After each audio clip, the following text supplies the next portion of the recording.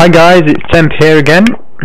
Um, today I have a monster which needs to be resurrected, but I don't have enough money. It costs 23,000 nuggets to re regenerate this monster. So I thought I'd give people a few tips on how to make nuggets in Fight My Monster. Now, one of the ways to make money in Fight My Monster is to win fights for money. So if I was to have a fight against this chap for instance, challenge him, and when you get to this stage of the challenge, coming up, there we go, you can enter the amount of money that you want to challenge that the winner will take. The loser will give the winner 999 nuggets, which is a big chunk of money, if you win. Now I'm not going to do that just yet. The other way to make money is to complete missions. Now I've got a mission here, um, get a new personal best score in Boozoids. Your reward is 100 nuggets, so if I go to the arcade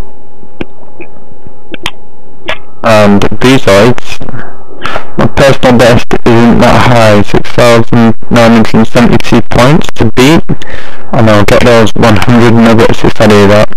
Also, if I beat this score, listed under each game, you get the nuggets displayed next to that score. So, for this one, you get 200 nuggets for scoring over 268 points.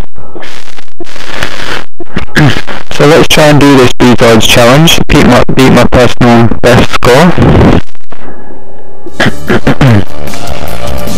Here we go.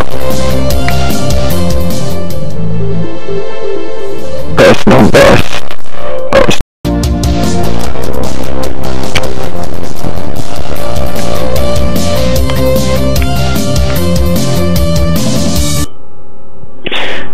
I beat my personal best in Boozoids and got 100 nuggets.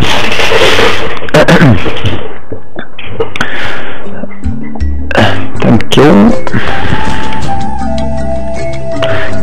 And the final way to make money is to sell your cards.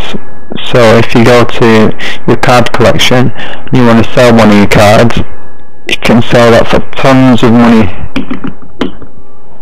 and um, someone buys it you get that amount of nuggets